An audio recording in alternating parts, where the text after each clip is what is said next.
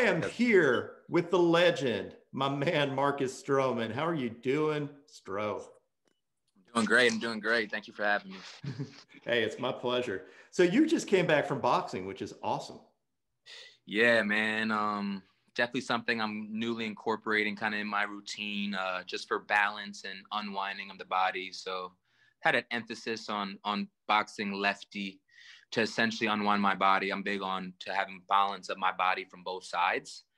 So essentially what the boxing does is I'm boxing not my natural stance. I'm boxing lefty and I'm throwing most of my combos going this way to unwind myself from always going this way. So it's a it's a big thing for my body. That's awesome. And hey, if someone charges a mound because of a case or something, like that, you Yeah. got them. I'll be ready.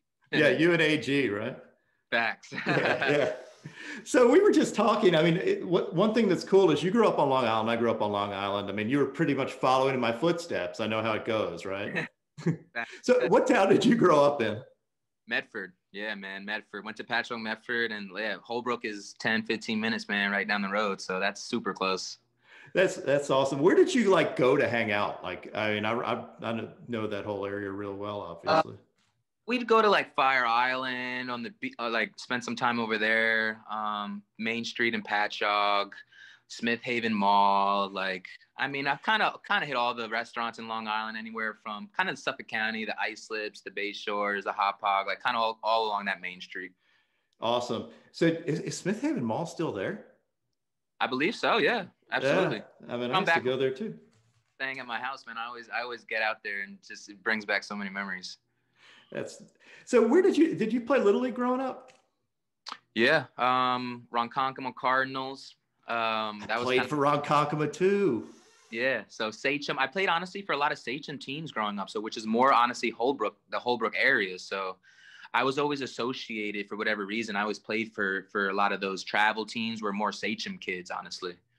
Oh, that's that's really cool. Did your like so growing up, like did your dad I mean, how did you get interested in baseball?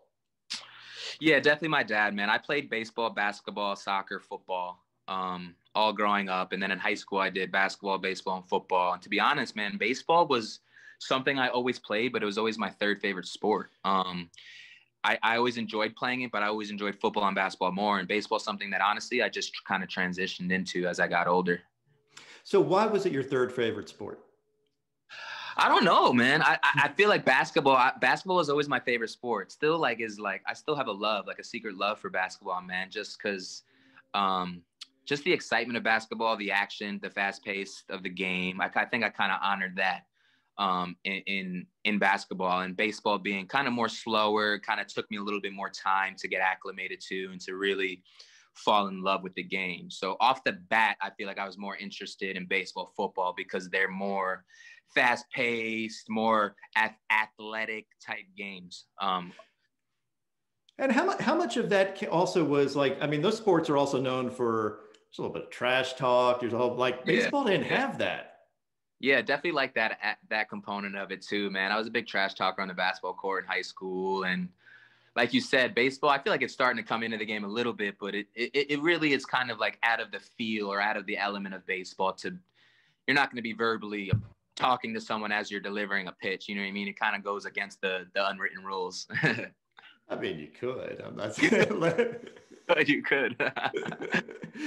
how, how much do you think playing other sports? So growing up, I mean, obviously you talked about the athleticism, the movements, boxing now. How much do those mm-hmm. sports translate to pitching and how much are you trying to use that to to make you a better pitcher? Yeah, man. Personally, like I couldn't I couldn't emphasize any more how important I think it is for young the young wave of athletes, young kids to play as many sports as possible. I think it just helps your overall athleticism, helps your body move in different ways, helps your body get used to being in different positions. Like there's so much um there's so many good things you could take from playing soccer, from playing basketball, from playing football. I don't think kids at a young age should ever should ever just focus their abilities on one particular sport because I feel like honestly, by doing so, it limits them from being great at that one particular sport because it kind of limits your access, especially as a child when we're young. Like our bodies are amazing. And when you can acclimate it and make it move in certain ways playing different sports, that kind of carries the wave as you get older. And I feel like that's why I'm so good, to be honest with you. It's not necessarily that I'm a great pitcher. It's not necessarily that I'm a great um, baseball player. It's that I'm a great athlete. And by being a great athlete, I feel like I make better in-game adjustments than anybody. Like I'm able to correct myself and know, you know what, my core was off there. My my my, my left glute wasn't turned on. My hip is a little off. I'm able to make those corrections and feel my body pitch to pitch in game. And I truly feel like that comes from my athletic background. That's interesting because I've seen you. Like I watch your games. Obviously, I watch Mhm. every every start that you uh, that you Yeah. have, and I notice you talking to yourself, and you're you're you're giving yourself cues like, "Hey, you know, I've got to I've got to get my core uh, Yeah. into it." I'm really big on verbal cues, and like I, I- I talk to myself a lot, and a lot of people think I'm talking to them at times, but a lot of the times, man, I also have like a mental coach I work with, and a big thing is is the ability when we speak things verbally, vocally, the idea of kind of speaking into existence rather than just holding it in and thinking about it. It kind of hits home way different, man. It kind of is like on this whole like mental spiritual wave where you really feel it. So I'm big into talking to myself when I'm on the mound. Keep your core on, engage your ass, engage your glute, get into your legs, breathe. My big thing is breathing. Focus on your breath, get in your core, keep your ribs down. I'll tap my ribs to give myself a reminder. So I'm really big, man, into verbal cues. I feel like that's been a huge help for me over the years. It's I feel like when I'm able to verbally verbally express something, it kind of manifests itself.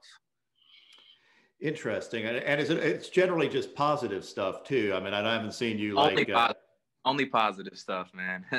Yeah.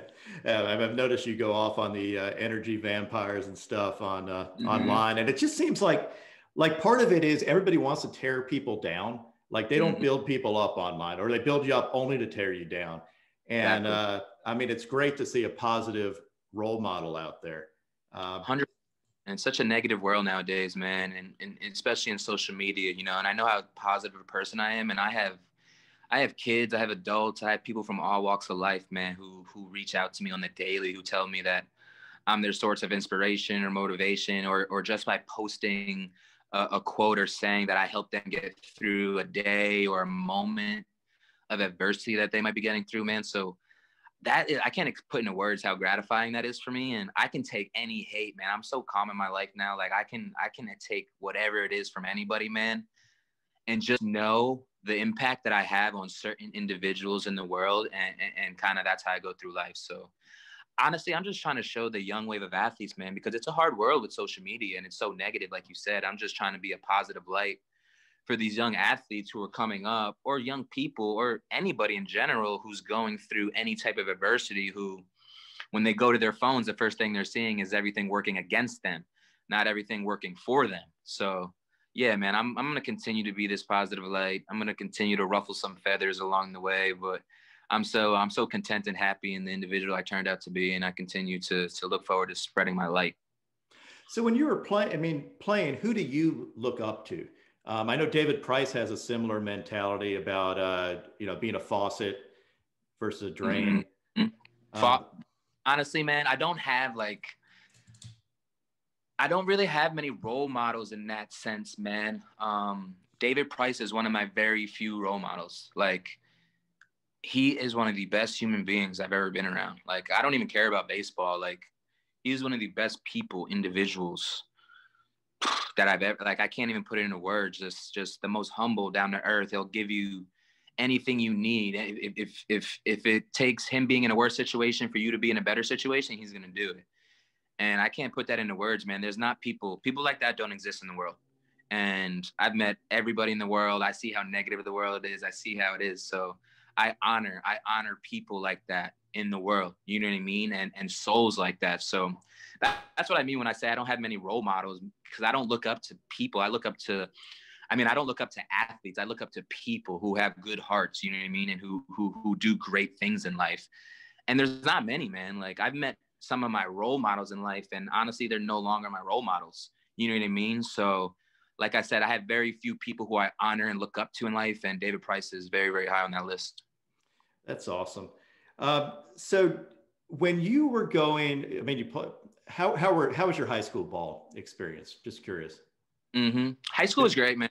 I had a great, I had a pretty good experience, man. Like, I was always like very knows like work, work, work, work, work. If I wasn't working on my craft, man, I was working on schoolwork. Like in high school, like I was really focused, man. Like it was tunnel vision. My dad was on a wave too. Like my dad had me like very tunnel vision. He had me very motivated, very confident, and we just worked, man. Like I said, I, I didn't have much time. I wasn't going out to any parties. I wasn't playing much if I wasn't working on my craft or working on me getting better, my dad was handing me additional schoolwork or reading comprehension or this book to read, and then he'd quiz me on it. So I'm thankful for my pops, man. Like I said, at times it was very overwhelming. Um, but now I, I, I, look back and I'm I'm so thankful for my dad and, and my upbringing. So I think that's important. So I mean, I had a similar thing raising a kid who's a pitcher. Mm-hmm. Um, I think kids don't appreciate it necessarily at the time because mm-hmm. you know you want to go off and have fun and your and your dad has a long range view of everything. And it's like, hey, get get your schoolwork done. Yeah, it's almost like oh, like I can't I can't do this. I can't go out with my friends tonight. Like, but now, man, I look back and I'm so thankful that I'm not the friends or or acquaintances at the time who who panned out the way they did. I'm so happy that I had his upbringing and his his motives and his his his mindset instilled in me, man. And the work ethic. The honest, the honest thing was the work ethic that my dad instilled in me, man. Like he would drag me to the gym at 5 a.m. He would be opening the gym with a key, dragging me at five. Like he don't miss a workout till this day. He's 55 and he trains daily. So he taught me like if you want anything, man, you just gotta go get it and you gotta work. And when other people are playing and other people are doing things, he's like, that's an opportunity to outwork them. He's like, and if you want to get to the top, he's like, he, my dad let me know when I was super young. He's like, you're not going to be the biggest person. He told me straight up. He didn't try to like sugarcoat it. Like, he's like, you're never going to be the biggest dude in the room. He's like, that doesn't matter at all. He's like, you need to know that you that you're the biggest person in the room and know that regardless, you have to be the most confident person in the room. So my man told me that when I was young, like probably like, probably like way younger than most people told that. But probably like five, six, seven years old. My dad's a my dad's a savage. So like that's kind of like I took that through. That like hit home to me, and like honestly, from that age, all I did was work. That so you would have been successful no matter what you would have done. So you would just pick something. I truly believe that. Yeah, like baseball, I just do baseball, but I truly believe even when I'm done playing baseball, like I truly believe I have this next second wave of life where I'm going to be extremely successful into whatever endeavor I get in, man. Well, you've started that. I mean, with with your whole mm-hmm. brand, which is awesome. Yeah, man, I got HDMH, which is incredible, man. Um, Height doesn't measure heart, which is based off my my logo, my brand. I also am starting my foundation. We're starting to get into some really cool endeavors. Um, it's crazy, man, to see the progression of everything, to see it all kind of pan out. It's it's, it's amazing. I'm also I'm also in the process of writing a children's book, which will be kind of it'll be it'll be incorporate HDMH will be a big facet of that as well. So um, I'm working on this now, and I'm also working on producing possibly my own wine. So I always have projects, man. Like I, I, I have so many projects, but it helps me stay locked in on the field. Like the, the, the normal person who looks at me says, "Oh, he's got all these projects going on. It's a distraction," but they don't understand that I need that distraction in order to keep my mind centered when I'm out there on the mound to be locked in. If I go home and my mind's wandering and I don't have things to focus on when I'm away from the field, I will never be in a proper mental place to go out there and pitch, which it's hard for people to grasp, but that's my true mental state, man. It's just how it works. I think that makes sense. And you also have a champion mm-hmm. dog too. Yeah, man. I just got him back actually a week ago. He's down here Florida circuit, showed in Ocala, he showed in Lakeland. Uh, I think he has a show coming up too soon. So he's ranked 20th right now, man. I pulled him out. My trainer hates me because I always pull him out because I just like having him around, man. And when I send him, he has to be gone for a while. So he's ranked 20th right now in the country. He was inside the top 10 at one point, but being on the being on the circuit is one of those things you have to stay up on top of it. and You have to consistently do. Well, I mean, he's big though. I mean, do you ever feel like you should have gotten a smaller? Or you like? Uh... Big dogs, man. I grew up with a Rottweiler and a pit bull. Ooh, nice. I've always liked big dogs, man. Honestly, I I saw the Cane Corso and I've just fell in love, man. And I, I just wanted one. Yeah, it's beautiful. Like I, I Yeah. always see. I show my wife pictures of him. yeah, he's a sweetheart, man. He's a big teddy bear. So going from high school to Duke, um, what made you play college? What did you get out of college? Um, and you know, I went to UNC, so we got that rivalry coming up tomorrow too. So that's a that's a hard rivalry, bro. That's one of the biggest rivalries in sports, right there. Oh hell yeah! but yeah, going to um I always tell people, man, I'm extremely thankful that I like I honestly it wasn't really a decision for me. I mean, I, I guess I roughly did have a decision, but um financially it wasn't enough to kind of sway as far as as far as going out of high school. But obviously if you're faced with a financial like a million bucks, like that's hard to say no to. But I'm always a big proponent, man, of going to college. Like I'm so thankful I went to college like just not even just my deve- developmental years as a player, just as a person, as a human being, just learning how to live on your own, just being away, doing your own walking and going to do your own laundry, like providing for your food, for, like all those things just help you grow in life. You know what I mean? And I think that I get missed out when you get thrown into the the minor league lifestyle a bit. So I'm a big proponent, man, of college. Also, you don't choose a school like Duke University to just not graduate or, or or to just go there for a year or something. So I'm a I'm the biggest proponent of education, man. Any way you can further your knowledge, further your education, I think that's the way to go. And like, and I'm sure you know this, like baseball could be taken away from me any day. So, and I'm very aware of that. I've always been very aware of that. And to this day, I've have a I've had a ton of a pretty great accomplishments in, in the big leagues. I was an all-star, pitched in playoffs. Getting my degree from Duke University still tops all of that um, to this day. Well, I thought it was one of the great stories. I, I remember you sitting in class watching a game on a Yeah. laptop, I think it was, which Yeah. was freaking awesome. Yep, yep, yep. That was that summer, man. That summer set me up for my life. I tell people, I'm, I've never been more thankful to say that I tore my ACL, but that set me up for. I already was one of the most confident people ever. That summer, I feel like made me unbreakable, man. Like I truly feel like there's nothing in the world that I can't get through after rehabbing an ACL in five months and being in a class daily, doing all the work and getting my degree there's not much more that I can't tackle. You know what I mean? So I'm ready. yeah, yeah. I mean that that's insane. Like Yeah. coming back from an ACL like that, did you know you were going to do that? I mean, like that was a goal, obviously. Like, how much did you have to work to get that done? Man, I had to work a ton. The program that the Blue Jays had me on the time had me way behind schedule with their training staff there at the time. So when I showed up to Duke, I was behind schedule. And I ended up returning to play in five and a half months on an ACL, which is a normal, normal, normal to nine to 12. It's not, you don't, not really good to like 12 months. And I was back on a mound pitching in four months, and I was back at the big league level five and a half months. It's like the most incredible thing I've ever done, man. That's why going through season and going through adversity is easy now. I would literally wake up. I'll just give you a quick day. I'd wake up Monday. I'd wake up every day before before breakfast, stretch, foam roll, soft tissue, eat around seven, seven thirty. Go to my first workout from usually like eight to nine thirty. From there, I'd go straight to class. From class, my homie would bring me lunch and a change of clothes. From class, I go straight to another workout. From my workout, I go straight to another class. I did that Monday to Friday, and then Saturday I'd have full pool day workout, and then Sundays I'd be so tired I would literally just try and sleep to to get ready to do it again. And when I tell you there was no special treatment, I was in every single class, doing every single paper, doing every single report, writing every single note. I was. I could wholeheartedly say that. And I take a lot of pride in that, man, because I know how much work it is and how mentally challenging that was, how much challenge it was on my body. Like, it makes everything going through life easy, man. Like, after going through that. So I'm thankful for my doctors who I had there Dr. Robert Butler, Dr. Jason Shutt. They both took unbelievable jobs with the St. Louis Cardinals. Nikki Huffman took a head trainer role with the Blue Jays. It's one of the only females to ever do that. And now she works independently contracting. She's my trainer. She works with Nolan Arenado and she works with a few others as well. So it was a legendary summer, man. Like honestly, I I'm I'm gonna try and do like a, a piece on it soon, like a show or like a little YouTube on that summer because it was it was incredible. Yeah, that's that's absolutely crazy. Were you as big a celebrity on campus as some of the basketball players at Duke? This is the other thing, man. Nobody knew me on campus. really?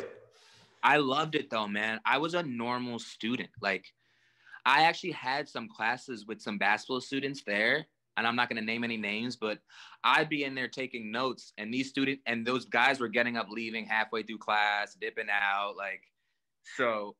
Like I said, I was a normal student. There was no special peripheral, like there was none of that. I was in, like I said, I was in every class doing everything on time, um, making sure all my work was hand in. I was printing out papers as I was getting my work in in the morning at my training facility. Like it was crazy, man. It was crazy. And like I said, after after doing that, it just makes going through life very easy now. Yeah, I would imagine, and this is going to help you going forward with with all the various interests you have. Oh, 100%, man. I, I, I have so many I have so many goals, man. Like my bucket list is like endless, but I want to do it all, man, in life, and I, I, truly believe I will. But obviously, my priority right now is is winning a World Series and winning the Cy Young. And when I say that's priority, that's priority, man. Like I, I, I I'm a five, I'm five foot seven, man. So I don't have the luxury of of taking any time or taking any breaks as far as preparation, as far as when it comes to doing that. So I when it takes a lot, man, for me to be good out there. And when I like my off season, it's like when I say I have full days of training or recovery, like they're full days of dry needling, hyperbaric chamber, cryo, sauna, uh, full workouts, dry like it's crazy. It's crazy. And it takes so much, which people never see. You know what I mean? People don't understand. They think we just go out there and we throw a baseball. But in order to be like that, I like like that out there, like I said, I dedicate, man, so much time away from my family, so much time like really focusing on my mind and my body in order to be a lead out there.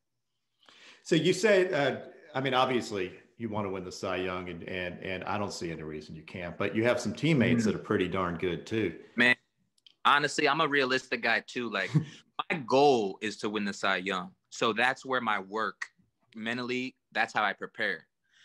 But at the end of the day, I'm happy with my whatever my results are going to be. I'm already good with my results because I know that I have exhausted every opportunity to prepare my mind and body. There's nothing more that i can do. So that's why i have so much calm now man and just knowing when i go out there i truly think i'm going to be great. But even if i'm not great in particular starts like i know it won't last because i know how much i prepare. Um, but like you said man DeGrom is unbelievable. So i'm not like if DeGrom as long as he stays healthy for 30 30 starts he gonna win this DeGrom's gonna win like I tell everybody this, bro. Like I, Degrom's the best pitcher in baseball, bro. Like I, it's no debate. It's not even close to a debate with me. It's not even remotely a d- discussion.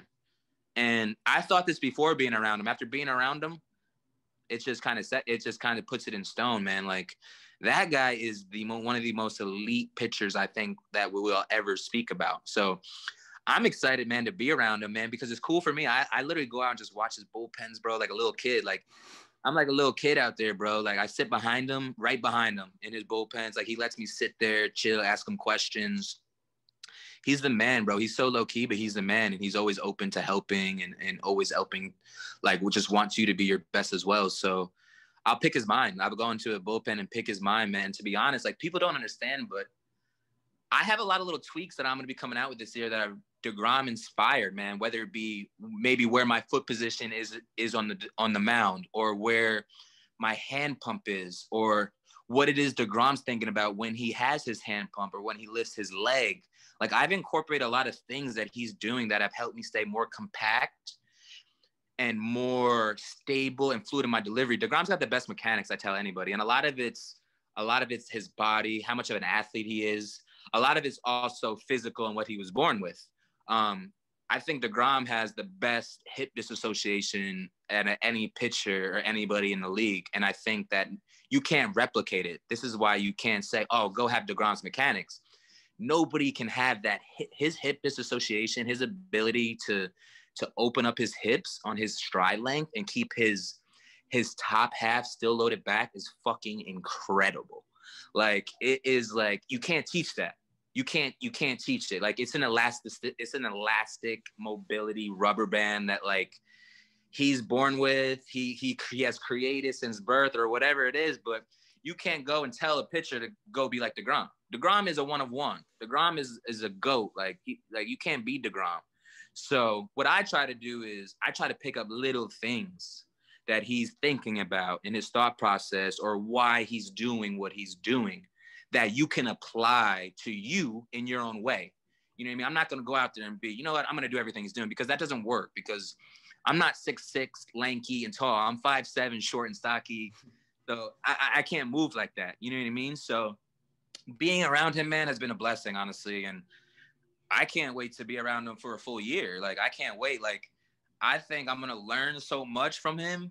Plus, my body, my mind's at the best place it's been in my career.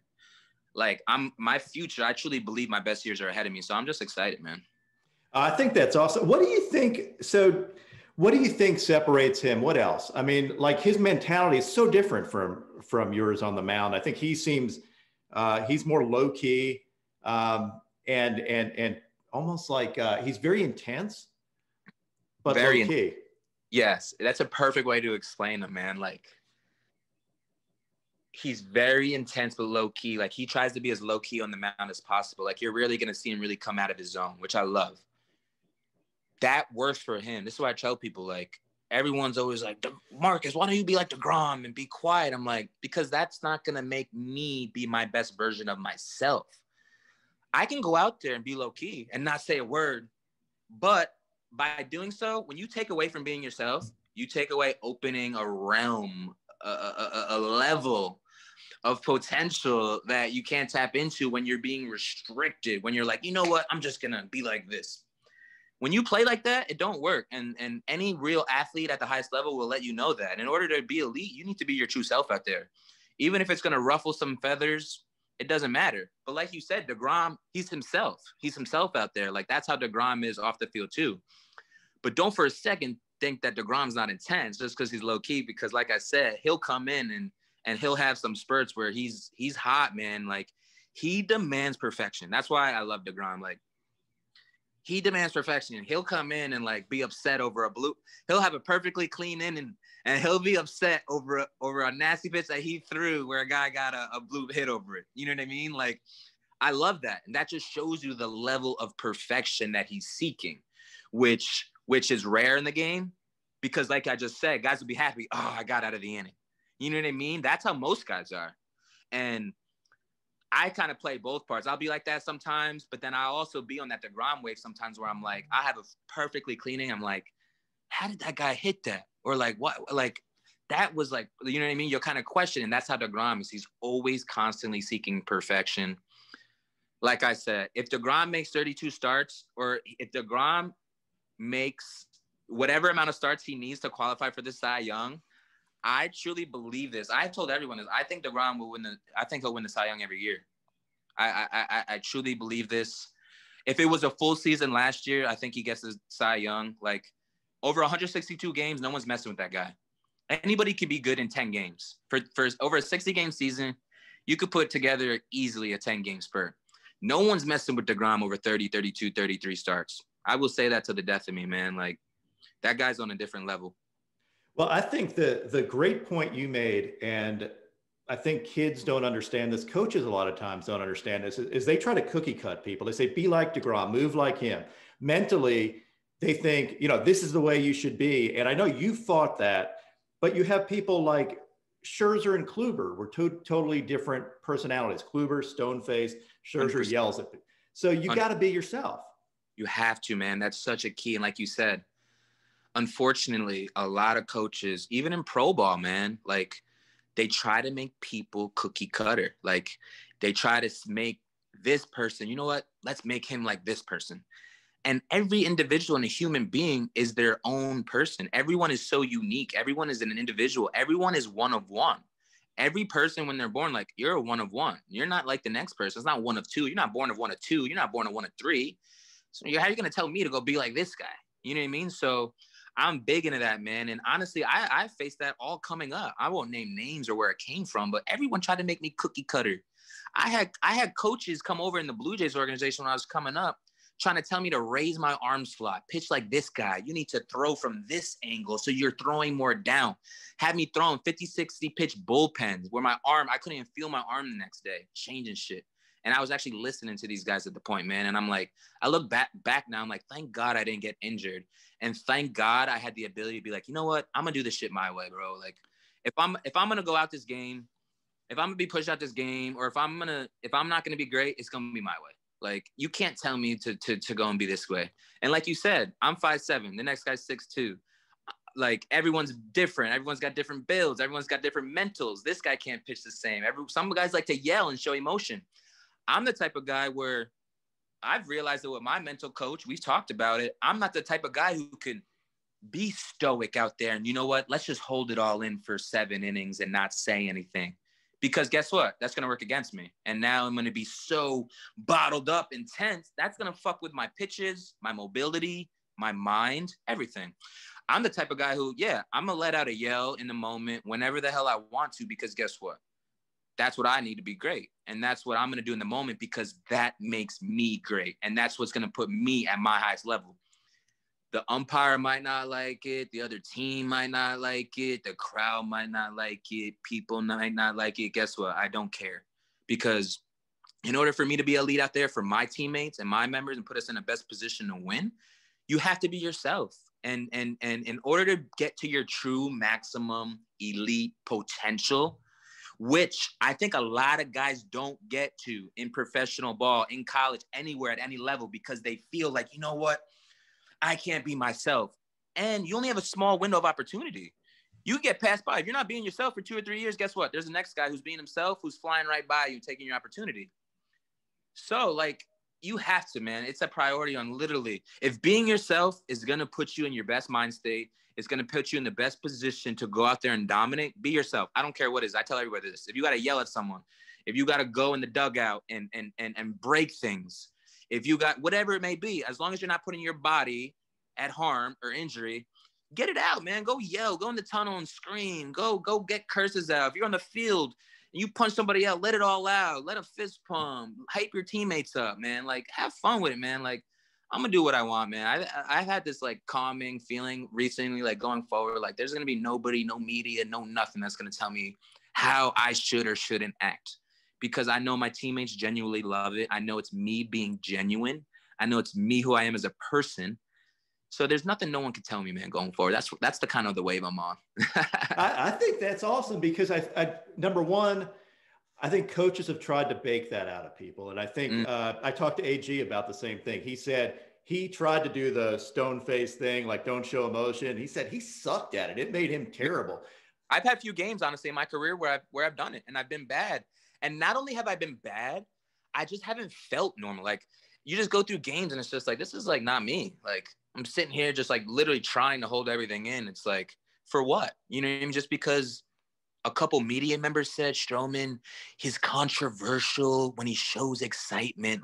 You know what I mean? Like, come on, man. These are these media members. There's one guy with one perspective. Who, who cares, bro? Forget all these guys. I think that's I think that's the thing that has hurt baseball from getting fans into the sport. Hundred percent. Man, did you see? I just I just on Twitter now. This is why I was late. I was late to this convo because I came from boxing, I got sidetracked, and then I got on Twitter, and like obviously we didn't get Bauer. I'm sure everyone. Oh, sorry. Everyone saw we didn't get, but came out yesterday that we were gonna get Bauer. It was like official. I'm sure you've been keeping up with this, and then today it came out to Dodgers. So you got these media members, man, like so negative, bro. We picked up Lindor, Carrasco, Trevor May, Lucchesi, Loup, like McCann, and the media members tweet no Bauer, no Springer, no Realmuto. Welcome back, Mets. Bro, I don't got time for that shit, bro. Like you are a pessimist, bro. Like your your life is negative. And just because you have a platform, now you're spreading all this negative ass hate to the fan base. I got no time for that, man. Like I'm gonna say what I want. I don't care for these guys no more. Like, so I tweeted. You go look at my tweet. I said I to him, "Did you see it?" Yeah, I saw it. I'm like, dude, are these not unbelievable additions for any team in any offseason? Bro, we had Lindor and Carrasco. That'll let alone. Plus McCann, May, Lucchesi, Luke. Yamamoto, we have unbelievable pitching depth. We got an unbelievable lineup. Bro, we have every reason to be excited. Now you have media members with a little blue check.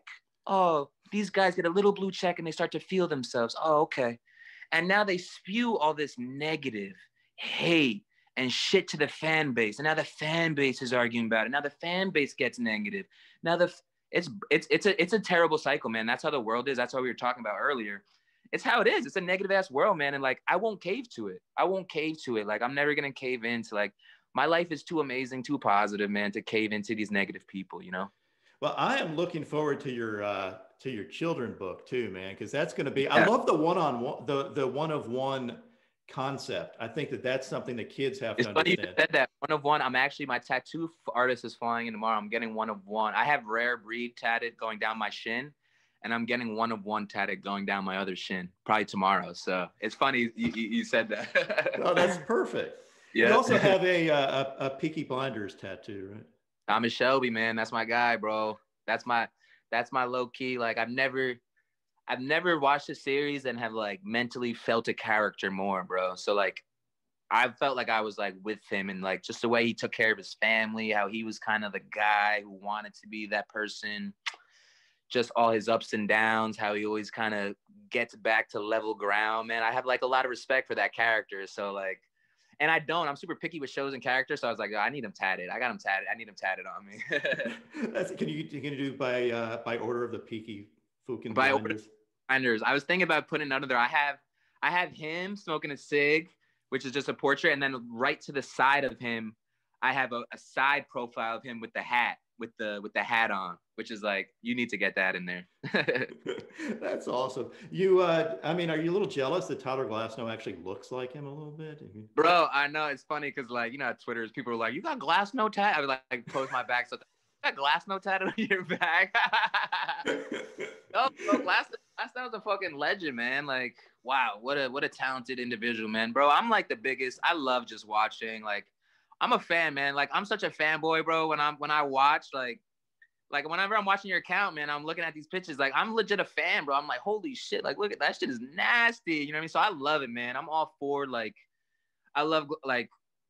Obviously, pitchers. It's like we're, we're our own entity. Like we always keep tabs on each other. It's like our own culture too. So I love seeing him, man. He's he's gonna be a great pitcher, bro. I'm I'm honestly excited because I think he's he's one of those few guys who's like I think he's gonna continually get better. You know what I mean? I don't think a lot of guys like come in, they're great for a year or two or or three, and then it's like they kind of wander out. Like I truly think he's like he's gonna progress, man, and it's gonna be scary. Like I, he's not even like at his like nowhere near his potential. That's what people don't realize. That's what people don't realize. He's like he's still out there just kind of messing around a bit. Like when he like when he gets to that peak, man, it's gonna be scary, scary.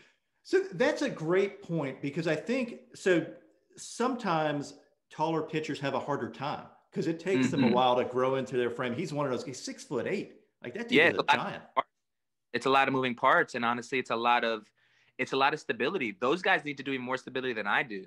And I, I, I'm the biggest core stability proponent. Like that's honestly, I'm going in a year eight, man. I'm five seven. I'm gonna be able to pitch. Like people don't understand. Like I'm gonna be able to pitch, bro, for a long time. Like at five seven, because my body is unbelievable. People say whatever they want. Like I take care of it to to the tenth degree. So I got no problem talking about it to that because you know, like guys don't last in the league. It's hard to have a long career, especially as a starting pitcher, to go and pitch 10, 11, 12, 13 years, man. That's hard to do. You got to be elite and you got to come with it and stay healthy. So I'm going into year eight, man. I'm looking forward to being one of those guys. Like that's that's kind of what I, I I pride myself on. You know what I mean?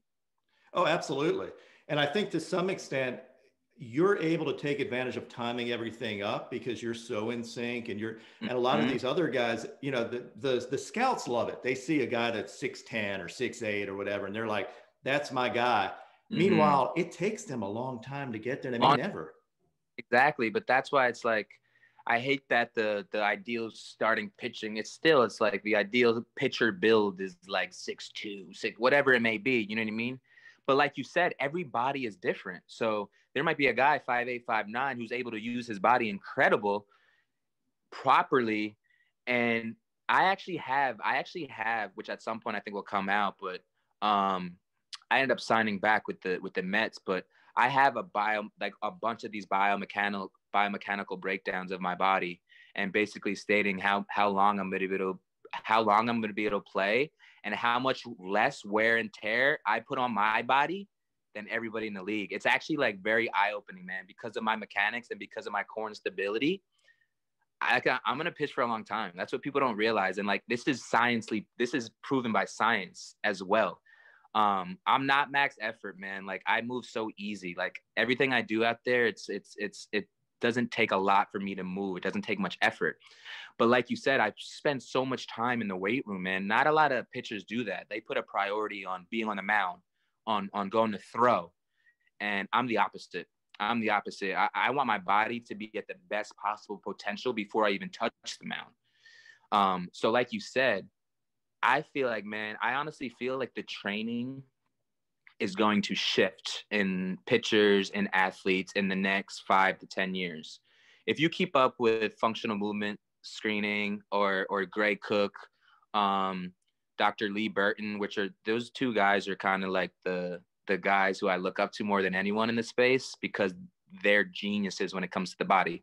But I'm talking about them because they train, they're pretty much train and go about the body like five, ten years down the road from now. They're way in the future.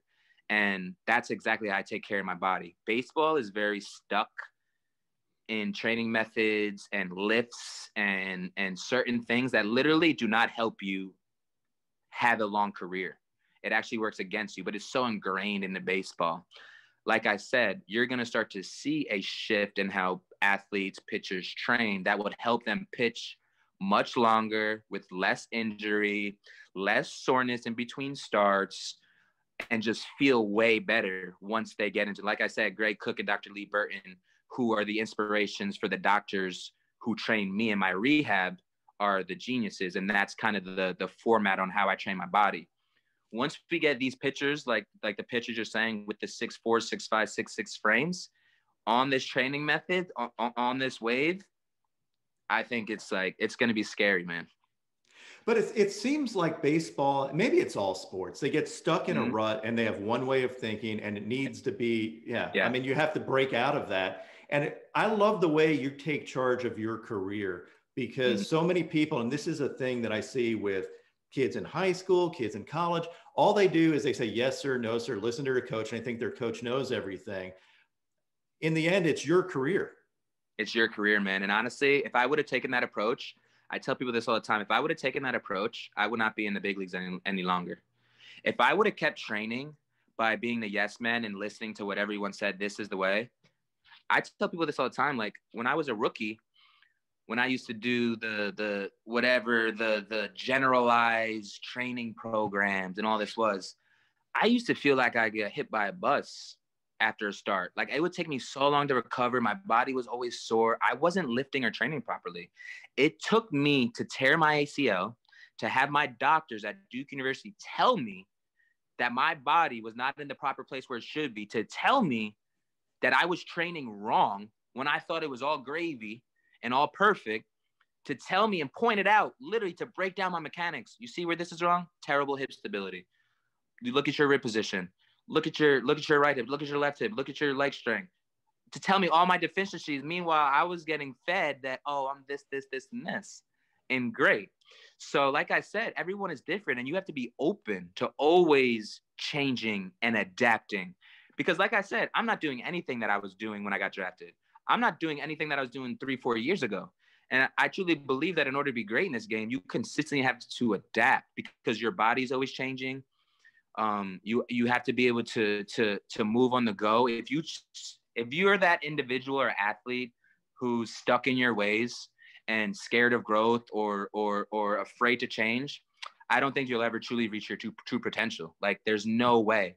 I honestly tell everybody this. I'm like I'm trying to learn and change and adapt and grow until the day I die. Like there's gonna be never a point where I'm like I don't want to learn more or I don't want to change for the better or I don't want to adapt to to increase my value of life or to make me feel like you know what I mean. So a lot of athletes get stuck in their ways. They're like, you know what? I had success in college. This is how I got to do things. What you did a year ago, what I did three days ago, might not necessarily work tomorrow. So I think a lot of athletes get stuck in that rut, man, for sure. Like you always have to be adapting and changing, man. I can truly say if I was stuck in my ways, I would have been out of the league with a regular job by now because I needed to tear my ACL almost to learn that I wasn't training properly. And I had the ability when I tore my ACL to stay with the team and do that and go through their training properly. But that was the best decision of my life was to go back to Duke University and get with the training staff and to completely change the way I took care of my body. It was the biggest thing I've ever done. That's amazing that probably your biggest setback in your career and the biggest injury ended up being the best thing that happened to you. And too many people don't take advantage of that. 100%, 100%. Like you said, a lot of people a lot of people mourn and feel bad for themselves and look at it like, "Oh, you know what, man, like this is it." I have never been like that. I've I've always have seen if hell was about to burn over today, I will somehow find that little bit of sunshine or that little bit of cloud somewhere, that little silver lining in there. That's how I've always been. I don't see I don't see negative because there's no need to dwell on negative. There's no point in spending time on anything bad because it's only going to work against you.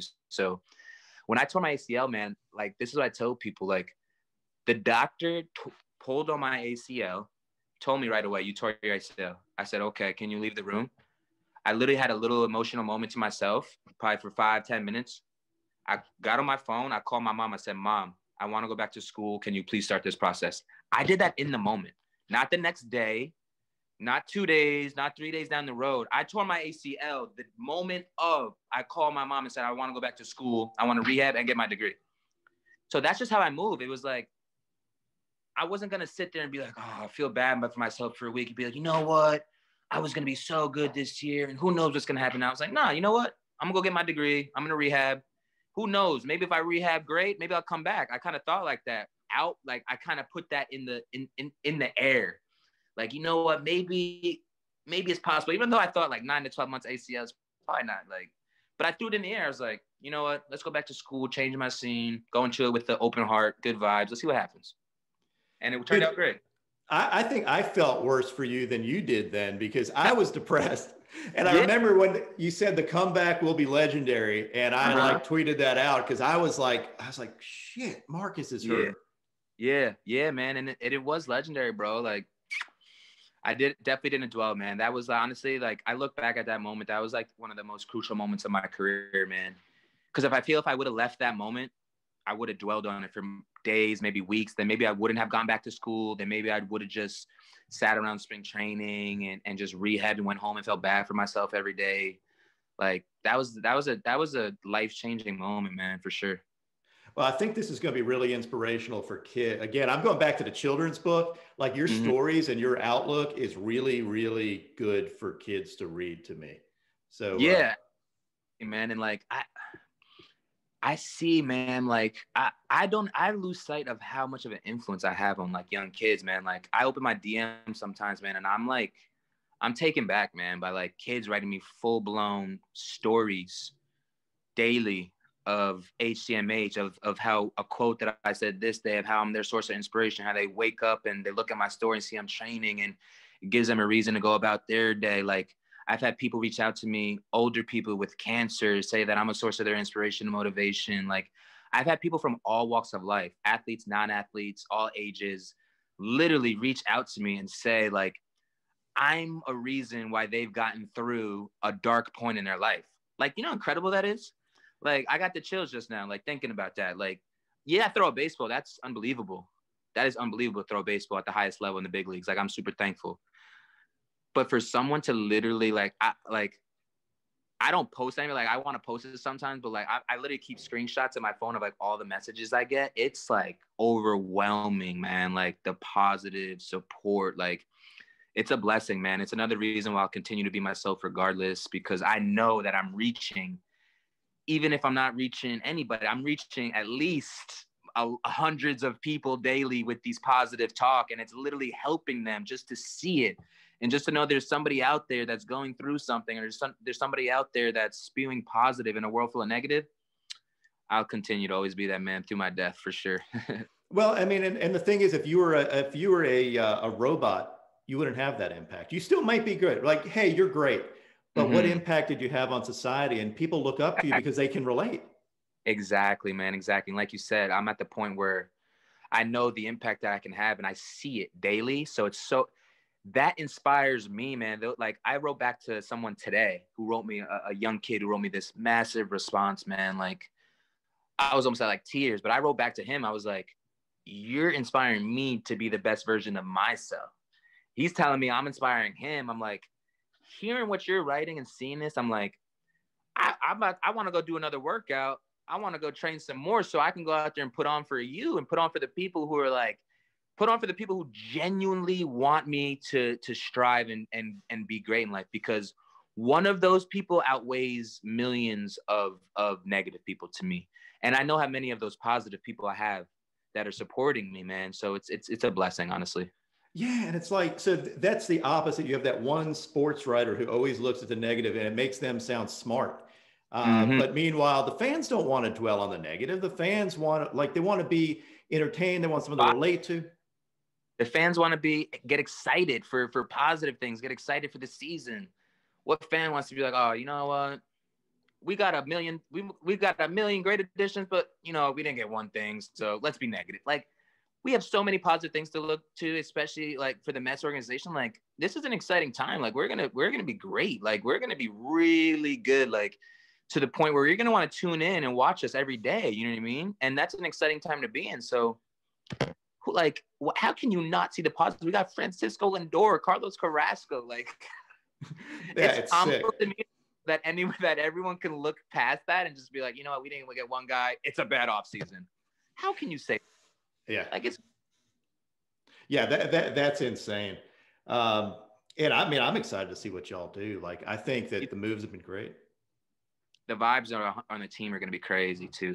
So when you have great vibes on a team, man, like that, that makes winning and everything easily achievable too, which people don't understand. Like I've always vibed with Lindor. Like he's always been a homie low key like side. We've always kept in touch. Like there's always people who pride ourselves on always smiling and, and, and being positive and hopping around. So it's going to be some fun times, man. Carrasco as well, man. He lives like 30, 40 minutes from me. We have the same barbers. So he's an unbelievable human being, bro. And people forget how nasty Carrasco is, And Like this guy is filthy. So like, and it's funny to me, man, because just people forget. That's the biggest thing. It's like it's it, it's a society of what have you done for me lately? And by lately, like literally like yesterday. You know what I mean? So I'm over here just smiling and laughing because I know how good we're gonna be. I know people forgot how good I am, which is fine. Like I don't care because I know how good I'm gonna be. But I was an all-star in 2019. I just put a priority on my body and my mind for 2020. Like I'm coming with it all future, regardless of what anybody thinks. Like there's nobody that can stop my progression. Like, so I'm excited, man, for our staff, for our team, for New York. I think it should be nothing but excitement to look forward to, man. I mean, if you're seriously dwelling on a piece or two that we didn't add when we added crazy pieces to the roster, like th- this is what I said to the guy too. I don't know if you saw the second tweet. I was like, this is a perfect example of a pessimist, of someone who sees the glass half empty.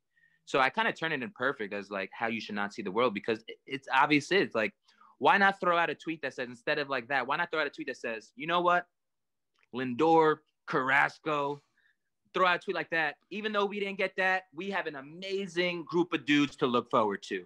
Let's go, Mets bro, like, just because he has a little check on his little page, like, this crazy, man. Like the little check be empowering these people. You know what I mean? Like they think they're they think they're somebody, man. And it's like you need to relax and realize, like, just because the society thinks you're somebody and you have accumulated a fan base, you now you now now your weight now your voice holds a little weight, and you need to be you need to you need to understand that. Even though you want to spew your negative thoughts that pop up into your head all the time, understand that you have a fan base, you're reporting on a fan base. Sweet. Congratulations. You got a blue check. So just know that and just know that maybe sometimes when you have a negative thought like that, maybe that stays in your draft.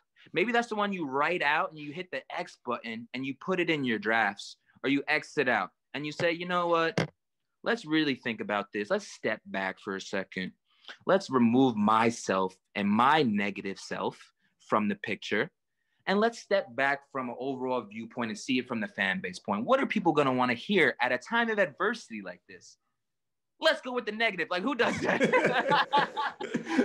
I, it, it is so crazy. I think people forgot how good Cookie is, though. Like he is insane. Insane. That dude, I, I'm I'm honestly Carrasco. I'm very picky with guys that I'll go back and actually like watch games. Like I'll watch your highlights, everything. But when I to actually go back and watch a game, I don't go back and watch game. There's very few guys. Cookie's one of those guys, bro. I will go back and watch his games. Like I will watch his sequences. I will watch that slider and that split. Like that shit is nasty. And that's what I'm saying. People like, how do you forget that? People forget this. You need to do me a favor. Can you can you throw up a little cookies after Oh, this? heck. You throw up a little Carrasco, um, like his little vintage highlights of nasty pitches. I need a little Met staff. I need a little Met staff, a little little montage, bro, just to remind people. I got you. I, I like literally. I grew up a Met fan too, so like Okay. I yeah. So I, I got you on this. yeah, yeah, I love that. I love that. So do you have a baseball around? You want to go over some grips or something? Or you Yeah, Ken. Let me um let me grab one. Be right back. okay? All right, my guy. I'm giving you my grips. I give nobody my grips, bro. I know. I flashed my grips one time, and they weren't even my real grips, bro. Like a while ago in a playoff screen, and like they got. But I, I, never get my grips. But let's do this. All right, let's go. All right.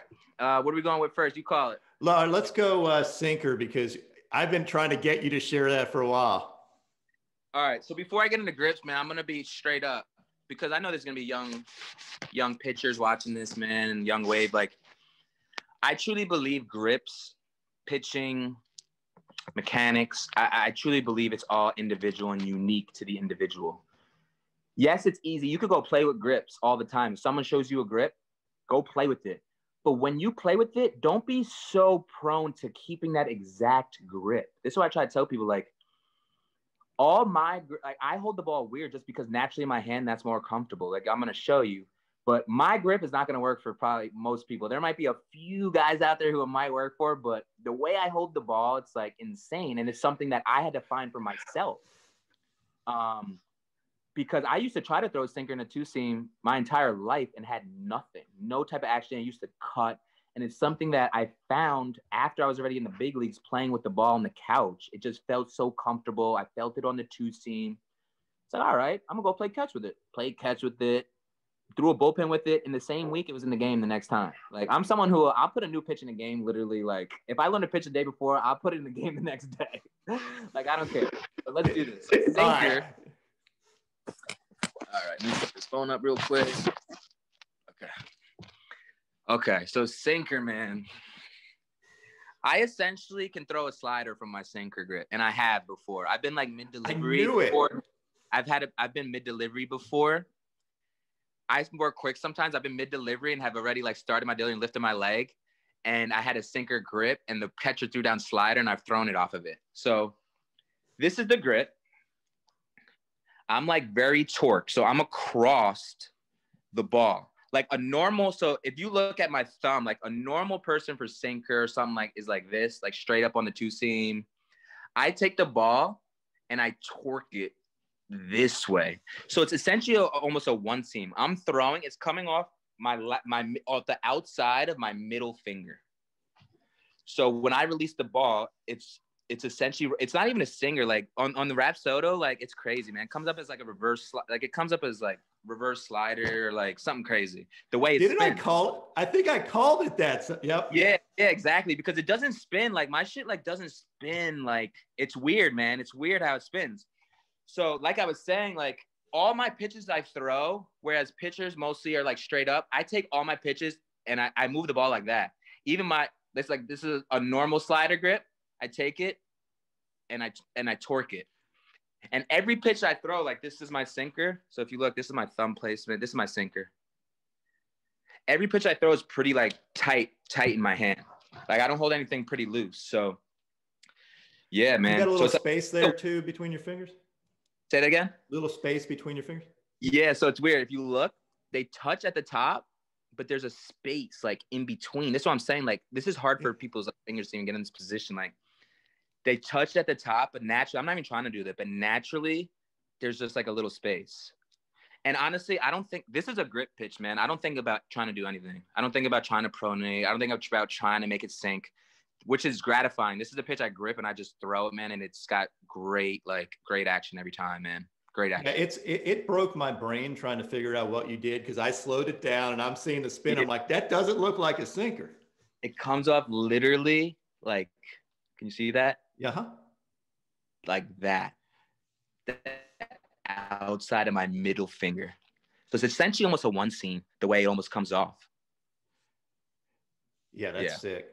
I- so, so to echo what you said, just like people's mentalities are different and mechanics are different. It's a, I mean, your, your arm slot's different, your fingers are different, your finger shapes are different. Yep. Exactly. So I tried throwing a normal sinker. I used to, I tried a million grips for sinkers and two seams. None of them worked for me until I found one when I was playing the ball on my couch that was like, I'm a big comfort guy too. Any pitch I throw, it's got to feel, before I throw it, it's got to feel comfortable in my hand. It's got to feel like so comfortable. Like it's got to feel like it's one with my, with my hand and my fingers. I'm never going to throw a pitch that doesn't feel comfortable. You know what I mean? That doesn't feel, even if it's like a nasty grip or it's got great action, if it doesn't feel comfortable in my hand and in my fingers, I'm not gonna, I'm not gonna throw it. So the sinker was something I found just playing with the ball, playing with the seams. I like gripped it like that. I was like, wow, that feels really comfortable. I feel like that's gonna come off of that scene. And literally, Dioner Navarro at the time put it into the game. He put it into the game that like three nights after I learned it. I threw a bullpen with it like one or two times. I threw it to him in a pregame. I was like, I literally said to him, I was like, like this is before I'm pitching in a game. It was against the Rangers in 20. It was against the Rangers in 20. Tore my ACL. It was against the Rangers in 2016. Um, was it 2016? Who knows when it was? It's hard to remember. we'll have to go back I- about it. exact thing. I literally learned this pitch. So I, I came in the league as a four seam guy. I didn't have a sinker at all. Like when I came in the league and I had good success, I had 120 innings my first year as a rookie. I had like a 3 5, 3 6. I had a 3 6. That was all four seam slurve, not a single sinker. So I didn't pick the sinker up until I was in the big leagues. And it was so good that that became a pitch that I only threw. And I kind of, it, it was such a good pitch. I forgot about my four seam. But my four seam has elite spin, like which I've learned to kind of get back. That's why I'm excited to add that in this year. So, um, my sinker, I literally was playing on the couch in between starts. One start, I was a four seam guy. Found it. I always wanted a sinker. Literally next day, played catch with it. Threw a bullpen. Had crazy action. Dioner Navarro didn't catch my bullpen, so he never saw it. So game, so the game comes up. He's catching me before the game. I literally throw on my repertoire. I'm like, dog. I'm like, I've kind of been working on this. Here's a sinker. like, I, I'm, I was, I literally said to him, I was like, don't, don't call him in the game, but just so you see it. He's like, all right, throw it. Fucking threw it. Nasty. He's like, bro, dude. First in the game, I was like, dude, let's not go. Like, I want to have a learn four. Sixth inning. You can look this up. Sixth inning. Sixth inning comes. I'm, I'm, I'm pitching pretty well. Runner on second, zero zero game. Shin-Soo Choo at the dish. This moment I will never forget. This was like the the break out of my sinker. Shin-Soo Choo at the dish, three two count. Dioner Navarro calls a sinker. I've never thrown a. I've never thrown a sinker in a game. I just found the pitch, the grip, literally three days ago. Like no joke, found it three days ago in my hotel room. Found it this guy, and if you look, there's video. I have video from it. I hope I can find it with you. This guy throws it down, sinker. I didn't even know the sign. He did this. I literally look. He's like, fastball sinker. I literally look. I'm like, I'm staring. I'm like, there's no way he just called this. He literally throws his hands up. He's like, throw it. He throws his hands up. Throw it. I'm like, you know what? All right, bro. I throw this pitch, and when I tell you, it started I couldn't have thrown a more perfect first pitch sinker for time being. For this is what like kind of propelled me. I got a take from Shin-Soo Choo. You know, Shin-Soo Choo is one of the hardest hitters to take off to, to strike out. And to get a take on a 3 2 count, I got a take from Shin-Soo Choo on a 3 2 count with a runner on second base. He didn't even argue. He put his head down and walked right back to the walked right back to the dugout. And I was like, oh, like inside, I was like, oh my God. I was like, I was like, we got we got something here. But so Dioner Navarro, man, like I always tell that story because he gave me the confidence, man. He called it, literally told him not to call it in the game, not only in a game, the first time calling it in that situation. So it's like that propelled me, man. Like I threw that pitch and saw the action, and I knew to get a take by Shin-Soo by Shin-Soo Choo on a three-two count with a runner on, like that action had to be crazy. And it was a pitch he completely had out of his head. So it was like that kind of propelled me, man. And, and finding my sinker, man. I ended up throwing that pitch for the next four four years, and I forgot about my force. I forgot about my force. So I'm excited, man. Um, this year I'm going to be incorporating a four seam and a little split. So I can't wait. Yeah, I want to see that split because you and I have been working on that changeup for a long time. Yeah, man, we have, bro. we have, man. Always asking you for every grip of everybody. Like, how does he throw? Does he break it down? Videos, YouTube's. But Gausman, man. So, like I said, I've always been someone who I've held the ball on the inside part of the scene. Sinker. I used to try changeups on the inside part. Gausman throws his on the outside. So I was in, I was down there going through when I was with my calf tear. We were just like talking, going over stuff. Man, first one I threw nasty. I literally just moved my my my my ring finger from the inside of the seam to the outside on this side. So now essentially instead of letting instead of throwing it where it's coming off like my sinker, the one seam, I'm throwing it uh, I'm throwing it where it's coming off the outside and I'm rolling like the inside of my finger on that seam, but it gives me a grip to roll on whereas I felt like I was rolling away from it. Now I feel like I'm almost pulling, man. This thing when I throw it right, man. So now it's rolling off like like like this. Rather rather than rolling off like this where it kind of runs from you. Now it's like pulling it down. So you always had a hard time pronating, right? So this is actually you're doing it with your fingers instead of actually pronating through it. Because I don't think pronate, man. A lot of guys they see my sink and they're like, "Oh, he probably thinks pronate." Like, I have my grip guy. I let the grip do it. Like, I don't want to think, "Oh, I need to get out front and turn it over." Like, I just want a grip where it feels comfortable, where I'm gonna go through my mechanics, I'm gonna release the ball, and it's gonna do what it does. Like I don't want to have to worry at the very end of my delivery when everything else has gone perfect. Now I gotta, you know what I mean? I've never been Yeah. that guy. Finding this grip, and like I said, it's gonna be a big pitch for me. And and even when it's not good, it plays as like a a sinker almost. Like it still it still plays. So, it- So I- the, the the analytics on it are pretty sweet. I saw it. It looked nasty. The analytics on it. I, I I've been kind of hot. I, I haven't been saying it. I, I'm just excited to pitch, man. But yeah, the analytics are good, man. On my forcing too, they're good. But that's what I'm just trying to devise a plan now. Like I'll be working with Codify this year too. So now it's just going to be a, a devising a plan of repertoire versus team versus what pitches I want to go to versus what particular hitters. Like I've never de- dove into this analytical. I've always gone out there and have just pitched I'm always a guy who's just pitched to my strengths. I don't. I've never. Re- I've never really game planned. I've never really like looked at lineups or hitters like my entire career. I've always just been like, you know what?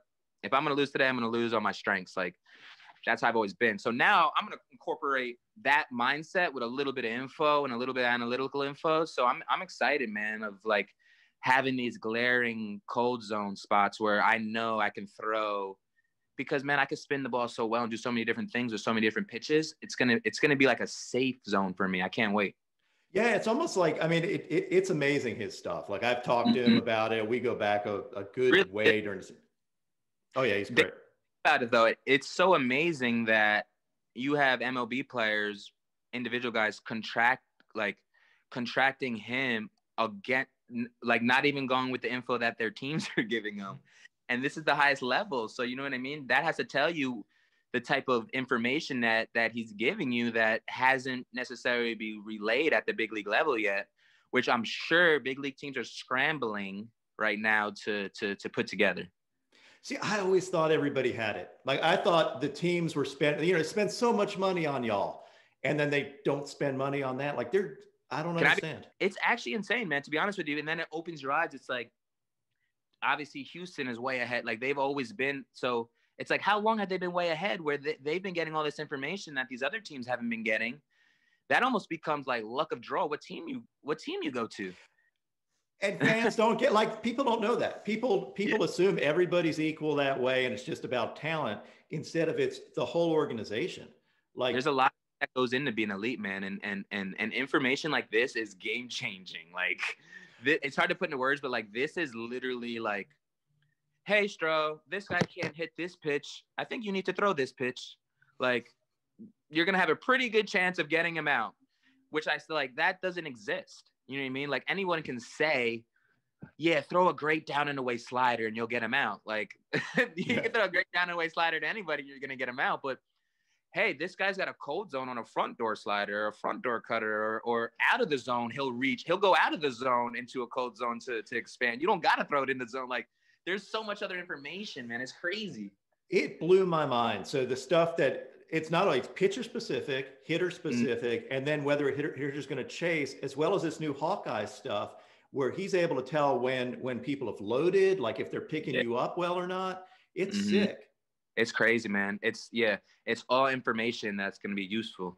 But it's fair game, man. We need it. The hitters got everything on us. Like, let's go. Like, you know what I mean? Like, we need yeah it. fuck the hitters man Flatter, the ball flies more. Like, we need we need all the information we get. Like, might as well level the playing field. Absolutely. So well, let's get to the slider and the cutter. Um, Yep. So slider, I throw a spike slider, man. So my slider is right here. It's almost like people throw curveballs from here. Honestly, I don't think my slider. I think curveball on my slider. Like So you're getting the to the front of it. like I'm throwing it like this, like kind of over it. And when I really want to make it big, I'll even think like I'm almost trying to roll it this way. Then when I want to make it smaller and shorter and harder, I'll get more fastball and just kind of get on it like this. But when if I start going like this, it starts getting slurvier and slurvier and slurvier. And then when I get on it more, it's just more more down. When I get on it, it'll be like 87, 88, 89. Slurvy will be like 84, 85. Um, but yeah, I'm, I'm like always manipulating the slider.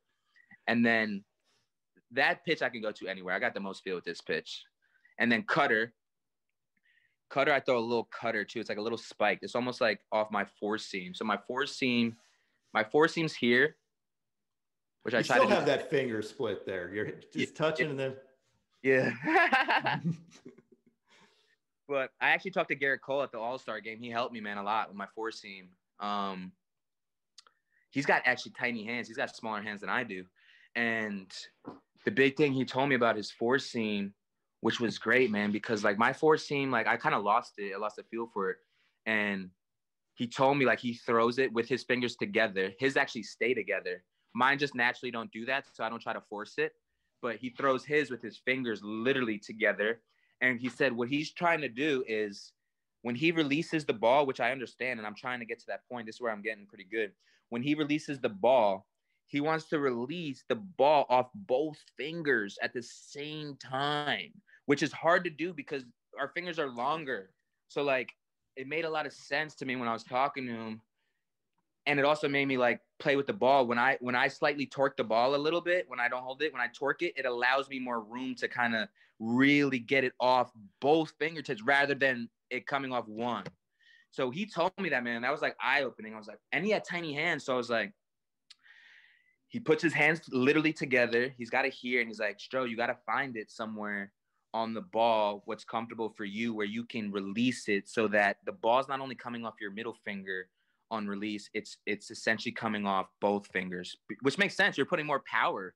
You're, you're getting another finger behind the ball, where whereas you're rather than releasing it like this, you're now releasing it two.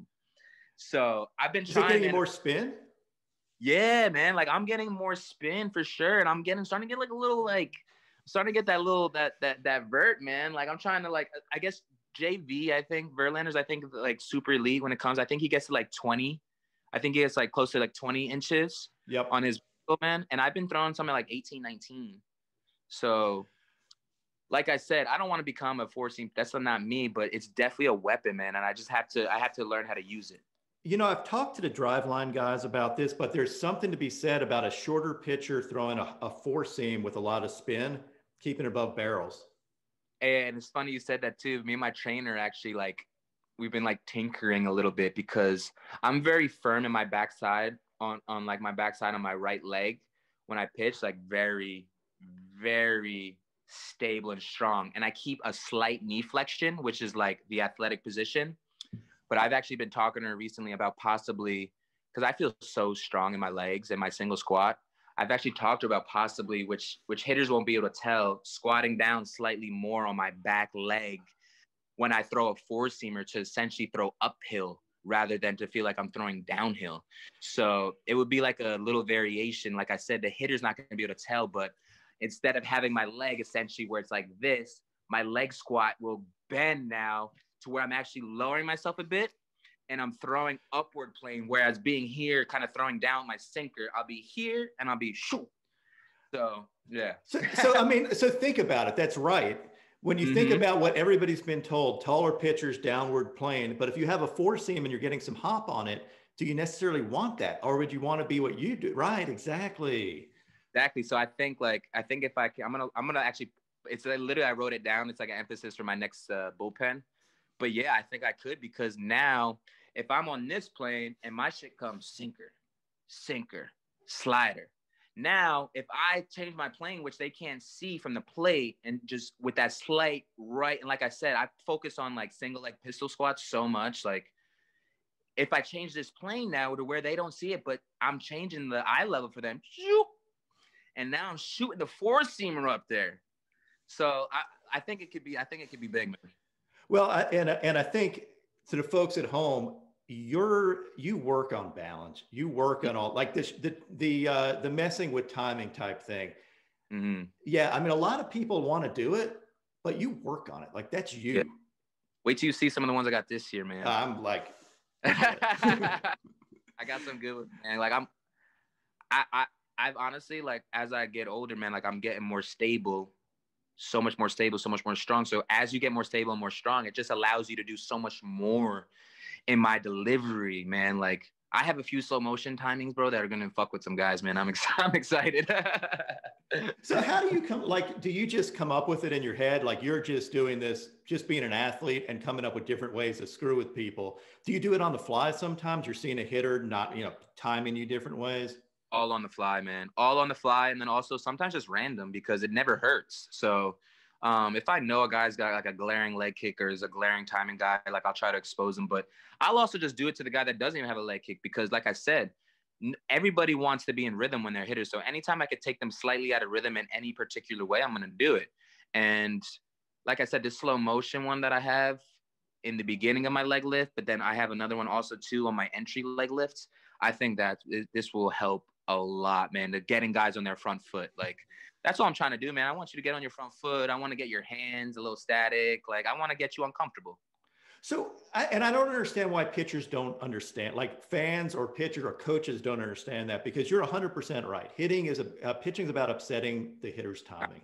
You can do it through changing speeds, or you can do it through changing your mechanics in the Mhm. middle of it so that you mess with the hitter. Why isn't that part of your arsenal?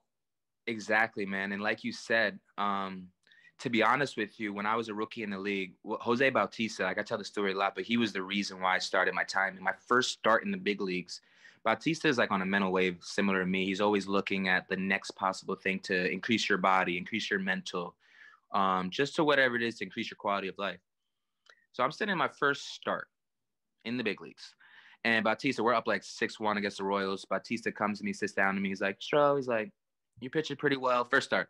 He's like, you're pitching pretty well. Like, we're cruising, we're up. He's like, why don't you try to mess with timing? Why don't you try to mess with like your deliveries? Like, he said to me, he goes, the only time I'm, the only time a, a- pitcher can get me out or out of whack or off balance or out of rhythm is when they quick pitch, when they when they mess with their delivery, which like Cueto would do at the time a little bit, but it was his was more like quirky, not really like messing with timing. He was just like messing with his delivery more so. So Bautista told me that my first start and like kind of implanted that in my head. And then as time progressed, like honestly, early in my career in 2014, I wasn't stable enough. I wasn't strong enough. I couldn't I couldn't do what I do now in my delivery. Um, but as it progressed, I would sit in the cage. I had so many. I, I'm I'm someone who honestly, I'll go sit behind deGrom, but I, I I rarely pick pitchers' minds. deGrom's a goat.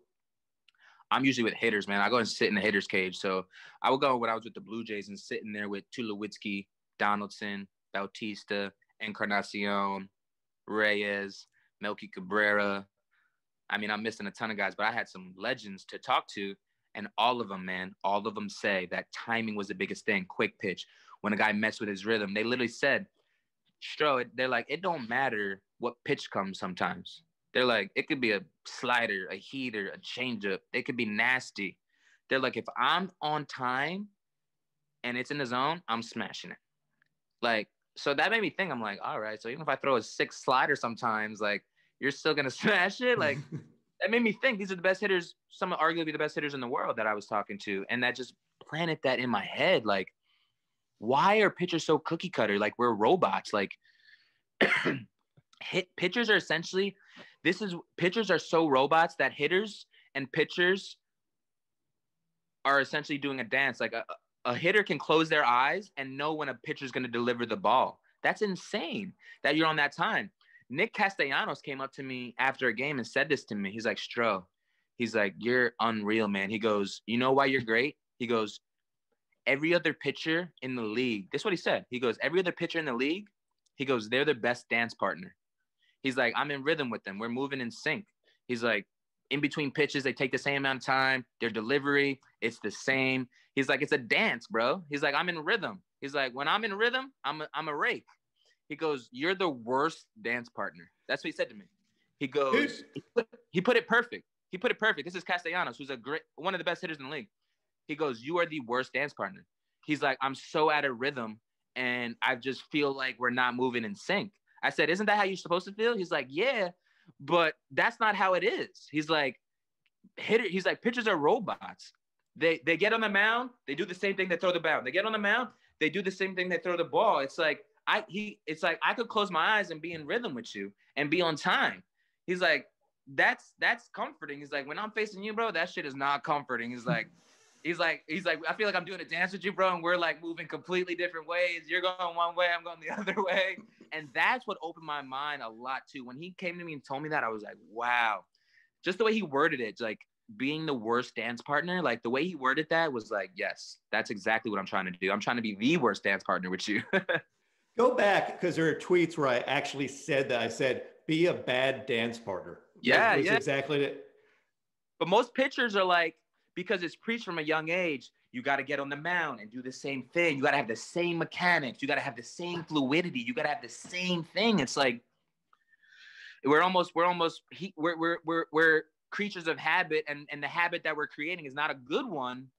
That's gonna help us get out.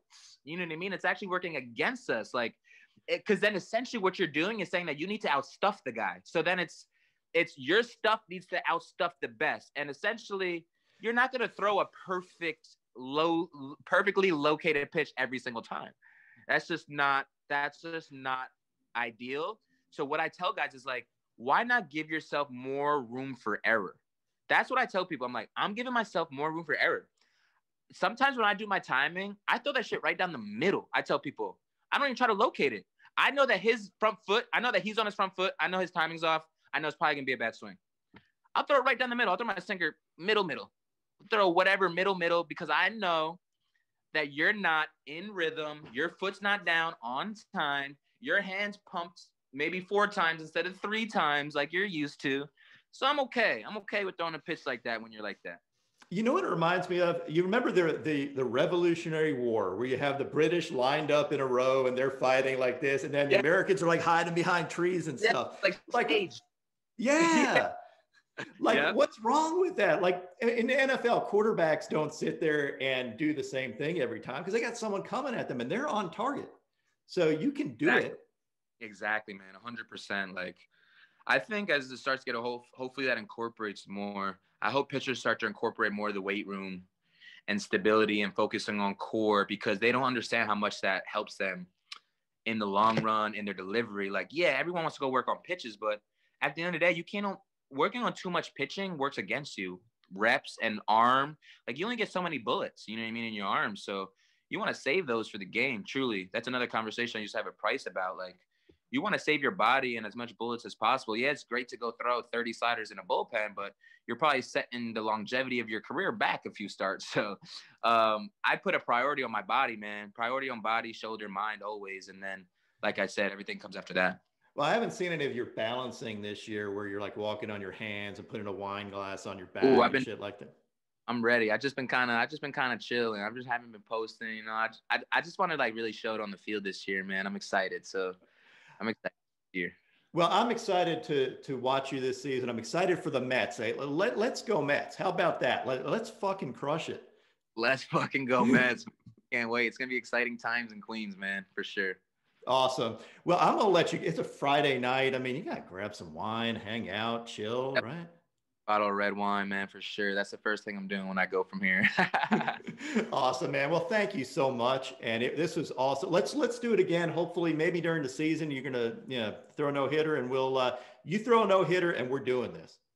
I got you, man. Honestly, man, I talk to no media during the year, but I will talk to you whenever you want, man. Like I'm only talking to media post game at my locker. So anytime you want to get together and do something, we can do it. Cause I know a lot of people always want to hear me speak on this on platforms like this. And like I said, I, I'm not giving I'm not giving media any of that. So I would love to we can we can get on here and do it.